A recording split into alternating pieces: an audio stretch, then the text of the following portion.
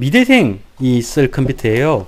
캐드하고 라이노 사용한다고 쓰는 건데 7700에 아수스 B150 보드에 M.2 들어가고 1050 Ti 아, 요게 들어갈 겁니다. 근데 이제 7700 CPU가 지금 제가 재고가 없어가지고 급히 예, 퀵으로 7700을 좀 받았습니다.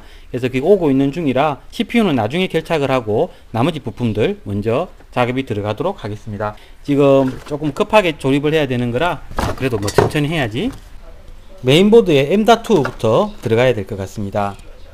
웨스턴 디지털 그 그린으로 240 아까 손님하고 다 그냥 같이 개봉을 해버리는 바람에 부품은 개봉이 되어 있는 상태예요. 자, 여기를 들어가도록 하겠습니다. 크로닉스 펠콘 케이스를 사용할 거예요. 예, 제가 이런 약간 mechanic하고 실버 느낌 나는 거를 좋아해 가지고 요거를 사용할 거고 믹서는 이제 미대생 손님도 음, 괜찮다고 해 가지고 열어놓고 나사들도 다 챙겨 놓겠습니다.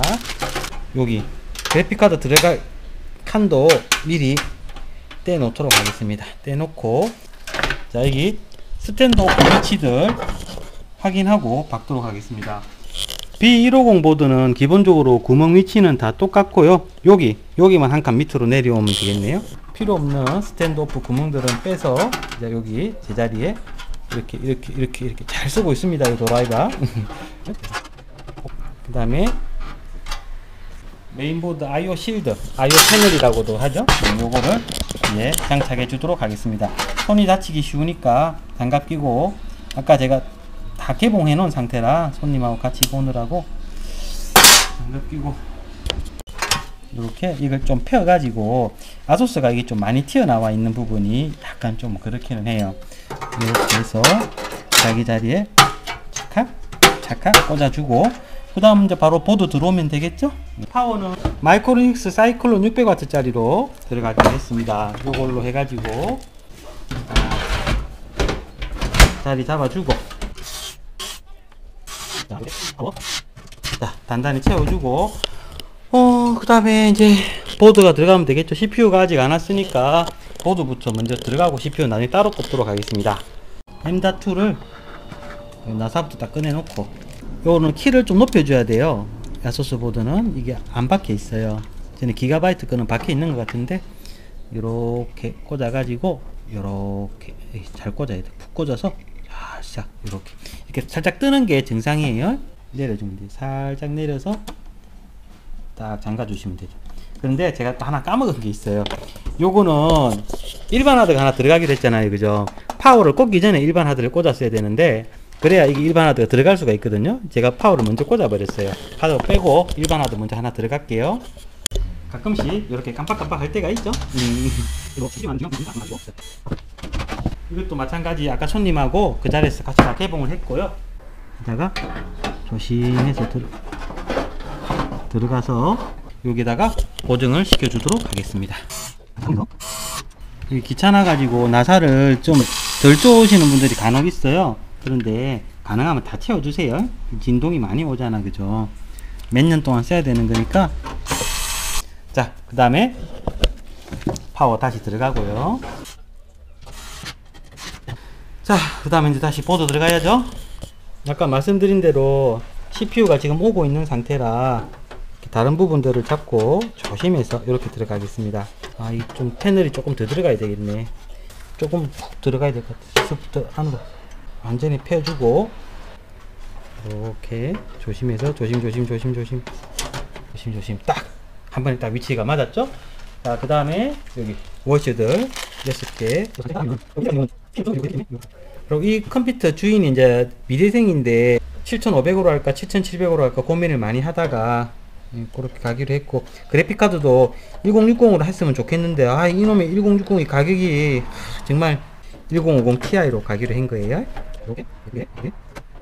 그래픽카드는 CPU를 받고 나서 장착을 해야 안전하니까 이렇게 장착이 됐습니다. 이제 패널선들 연, 결하도록 하겠습니다. 패널선 꼽는 거는 여러 번 여러 번 했기 때문에 그냥 바로 장착을 CPU가 왔다. CPU 꽂고 하겠습니다.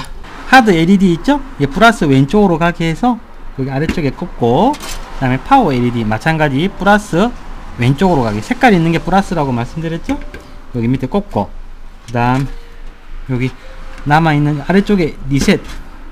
그 위에 파워를 꽂으시면 되겠습니다. 끝이 하나 남는 거는 빈, 구멍, 빈 구멍인 거 아시죠? 그죠? 예, 비워 놓으셔야 되는 거고 이쪽 뒤로 뒤로 뒤로 빼서 오디오 요쪽으로 빼서 오디오.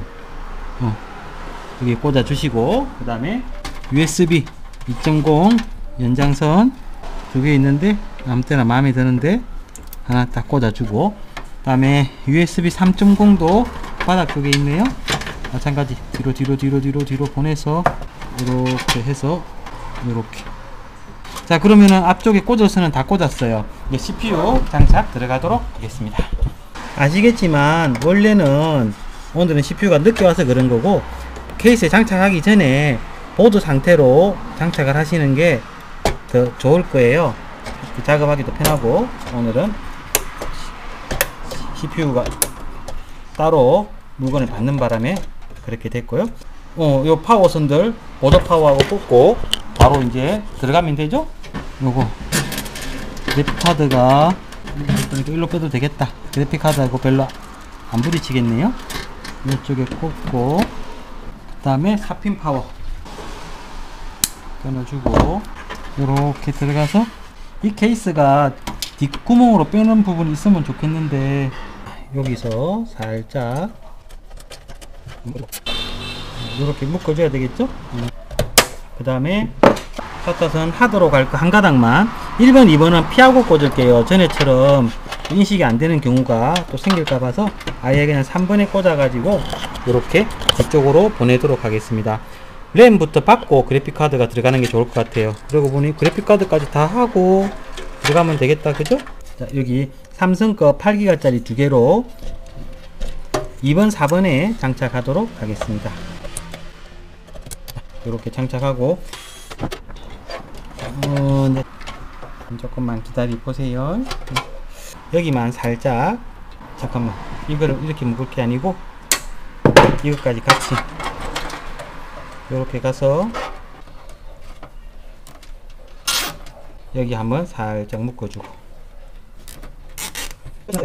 바로 뒤집어 가지고 작업 들어가도록 하겠습니다. 하드디스크부터 먼저 장착 들어가야 되겠죠? 여기에 파워를 꽂으려면은 손이 더 가늘어야 되잖아. 데이터선부터 먼저 꽂아야 되겠다. 그래서 좁다 조금. 조금만 넓었으면은 방법이 없네 제가 손이 두꺼운 걸 탓해야지 뭐 그죠? 자 데이터선은 아주 쉽게 꽂았고 그 다음에 파워선 또 아주 쉽게. 이거 조금 불편하네. 여기다가 여기다가 일반 하드 선을 꼽는 게 약간 불편하네. 자 이제 나머지 선들만 정리하면은 작업은 끝나도록 하겠습니다. 자 오늘 조금 한번 예쁘게 한번 해볼게요. 그래도 선을 예쁘게 정리할 수 있다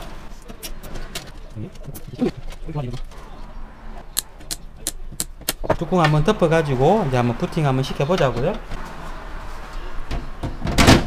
한 번에 딱 닫혔죠? 자, 한번 부팅 시켜 보도록 하겠습니다